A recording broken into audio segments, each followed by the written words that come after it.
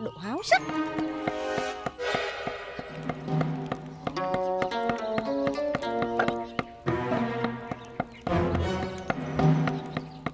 Minh Thành Hả? Ờ, cô, cô kêu tôi hả? Đầu óc anh để đâu vậy hả Bưng cái mâm này lên phòng cô Thúy Liễu giùm tôi được không Hả? Ờ, ừ, sảnh sảnh trên hả? Ờ, được được được được.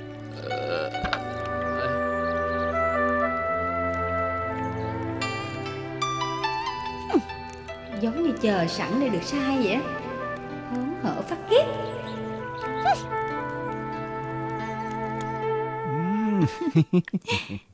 Ôi, trắng thiệt chứ. Ừm, cho ta hung cái nha. Bỏ tay ra! Nghe! Bỏ tay ra! Ngươi hãy mau mau bỏ tay, nhớ chân của ngươi ra! Cái tên điên khùng này đâu ra vậy hả?